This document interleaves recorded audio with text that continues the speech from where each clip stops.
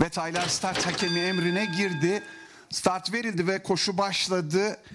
Evet orta kulvardan liderliği almaya çalışan Tay 2 numaralı Baran Efe oldu. İlk metrelerde bunu başardı. 9 numaralı Sehar da orta kulvardan ataklarını artırdı. Geldi şimdi o da liderliği istemeye başladı. Bir buçuk boy kadar geride dış kulvara yakın 11 numaralı Trakus'un gayretleri var. Trakus'un bir boy kadar gerisinde iç kulvara yakın 7 numaralı Ömür'ün oğlu ve 1000 metre starteri geçildi. Farkı bir buçuk boya kadar çıkartan 2 numaralı Baran Efe oldu. 9 numaralı Sehar onu kovalıyor. 2 boy kadar geride 800 startı geçildiğinde 7 numaralı Ömür'ün oğlu Ömür'ün oğlunun dışından en dıştan 4 numaralı gün ötesi önlere hücum etmeye başladı. Bir boy kadar geride 11 numaralı Trakus'un gayretleri var. Trakus'un sağrısında 6 numaralı Munzur'un gayretlerini izliyorum. 2 boy kadar geride iç kulvarda 1 numaralı Akkor Ateş'in uğraşlarıyla son viraja doğru geliyoruz. Liderliği 4 numaralı gün ötesi aldı ve düzlüğe az farkla önde çıktı. Bariyerdimden 9 numaralı Sehar'ın bir boy kadar geriden 7 numaralı Ömür'ün oğlunun gayretleri var. Son 300 metreye girildiğinde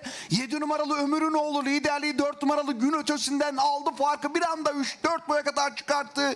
Gerilerden 6 numaralı Munzur'un uğraşlarını izliyorum. Son 200 metre geçildiğinde fark 5 boya kadar çıktı. 7 numaralı Ömür'ün oğlu önde. Dışarıdan 6 numaralı Munzur ikinciliğe giriyor. 4 at boy kadar. 7 numaralı Ömür'ün oğlu önde. Son metreler fotoyu 7 numaralı Ömür'ün oğlu buluyor. 6 numaralı Munzur ikinci. 4 numaralı gün ötesi üçüncü. 4 tay taraklama girdiler geri plan için. 5 numaralı Katı Reis. 3 numaralı Çağlar Tay. 1 numaralı Akkor Ateş ve 9 numaralı Sehar bu taylar. 7 numaralı Ömür'ün oğlu Müslüm Çelik de kazandı.